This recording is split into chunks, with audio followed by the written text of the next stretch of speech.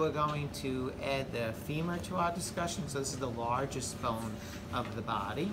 All right, and again, it creates a nice ball and socket joint, fits into the acetabulum of the coxal bone. All right, so let's put that aside.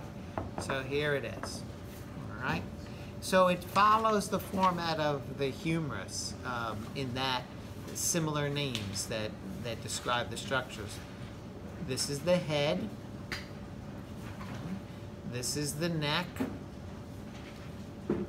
And then we have two projections coming off. And then we come down onto the, the shaft or the diaphysis. On the humerus, we had the greater and lesser tubercle. And there was a little groove in between.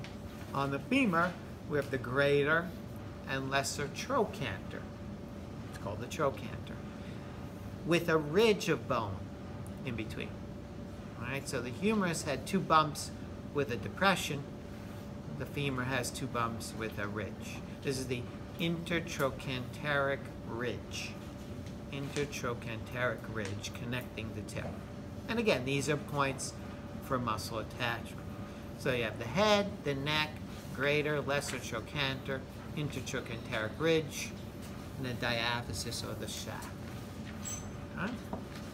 There's a little depression here. I don't know if I have it in your in your list, but the fovea capitis, the fovea capitis, uh, a ligament attaches from here to here.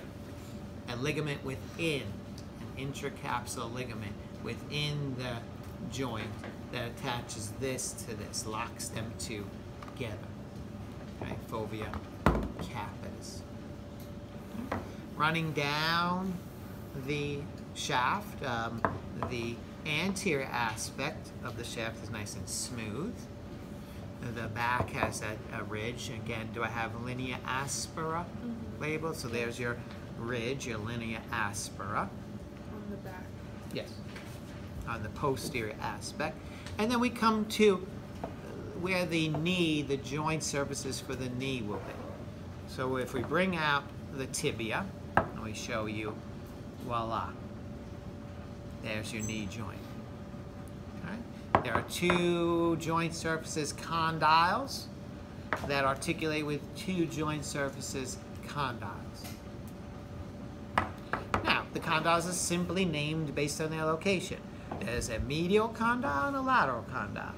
The head is always medial, pointing towards the midline, medial, medial, medial, medial condyle, lateral condyle, slash femur. Wait, say that one more time. Medial condyle. Medial's on the same side as the head. Correct. And lateral condyle. Intercondylar groove or fossa. The space between. It is the home also of two intracapsular ligaments. Okay, we'll look at that when we bring this into play. On the humerus, we saw condyles, trochlea capitulum, and then we saw a bone called epicondyle. And here is the medial epicondyle next to the medial condyle, and the lateral epicondyle next to the lateral condyle. Again, attachment points for muscles.